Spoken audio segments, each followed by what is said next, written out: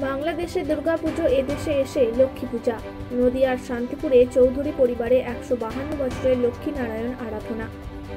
বাংলাদেশের বগুড়াতে খুব ধুমধাম করে চৌধুরী পরিবারে পূজিত হতেন মা দুর্গা। এদেশে আসার পর কোচবিহারে জয়া, বিজয়া, লব সহ লক্ষ্মী প্রতিমা। তারও পরবর্তীতে শান্তিপুরে চৌধুরী পরিবারের বস্তিতে শুধুমাত্র লক্ষ্মীনারায়ণ একশো বাহান্ন বছরে পদার্পণ করল শান্তিপুর। চাঁদুনি বাড়ি নিকটস্থ চৌধুরী পরিবারের লক্ষ্মী প্রতিমার আরাধনা। এই পরিবারের পক্ষ থেকে রূপায়ণ চৌধুরী আমাদের জানাচ্ছেন, তাদের পূর্বপুরুষদের আদি বাসস্থান ছিল বাংলাদেশের বগুড়ায়। সেখানে যথেষ্ট আড়ম্বরের সাথে কার্তিক, গণেশ, লক্ষ্মী, সরস্বতীর সাথে দুর্গাপুজো করা হতো। কিন্তু কোনো এক সময় ঠিক দুর্গাপুজোর পাক মুহূর্তে তাদের পরিবারের একটি দুর্ঘটনা ঘটার ফলে সেই পুজো বন্ধ হয়ে যায়। তারপরে সেই দুর্গা প্রতিমার কাঠামো শুরু হয় লক্ষ্মী দেবীর আরাধনা। শুধু লক্ষ্মীর আরাধনা নয়, সাথে থাকেন নারায়ণ এবং জয়া বিজয়াও। যদিও বাংলাদেশ থেকে এই চৌধুরী পরিবারের সদস্যরা চলে এসেছিলেন কুচবিহারের দিন দিনহাটায়, তবে এর পরবর্তীকালে কর্মসূত্রে তারা চলে আসে নদিয়ার শান্তিপুরে। এমনটাই জানাচ্ছেন এই চৌধুরী পরিবারের পক্ষ থেকে রূপায়ণ চৌধুরী। যদিও চিরাচরিত প্রথার একটু বাইরে গিয়ে কাসর ঘণ্টার ঢাক বাজিয়ে মা লক্ষ্মী দেবীর আরাধনা করা হয় চৌধুরী পরিবারে।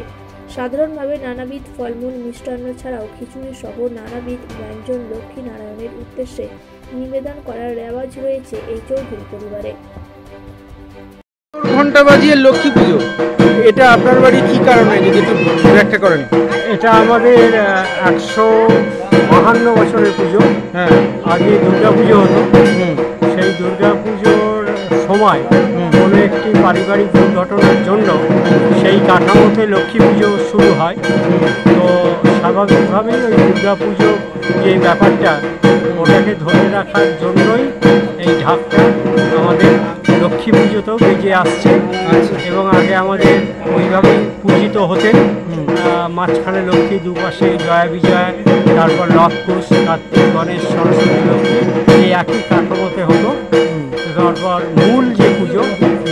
লক্ষ্মীনারায়ণ সেটাই আমাদের শুরু হয়েছে।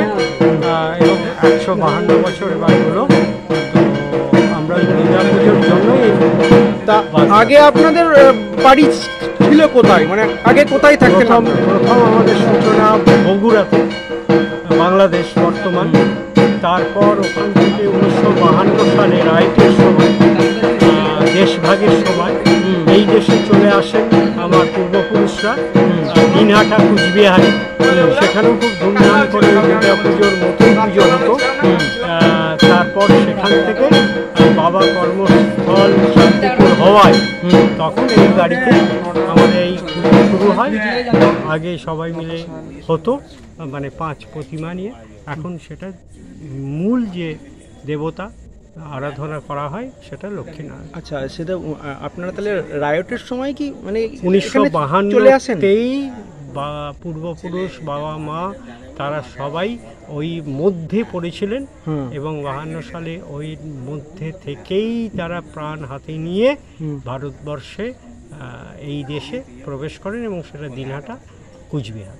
আচ্ছা তারপরে এখান থেকে শান্তিপুর এলেন। তারপর বহু বছর বাদে প্রায় পঁয়ষট্টি সাতষট্টি সালে যখন বাবা এখানকার মিউনিসিপাল স্কুলে শিক্ষকতা পেলেন তখন আমরা শান্তিপুর আচ্ছা আচ্ছা আপনার নাম বলবেন পরিচয় বলুন। রূপায়ণ চৌধুরী আমি এই চৌধুরী পরিবারে সর্বকনিষ্ঠ।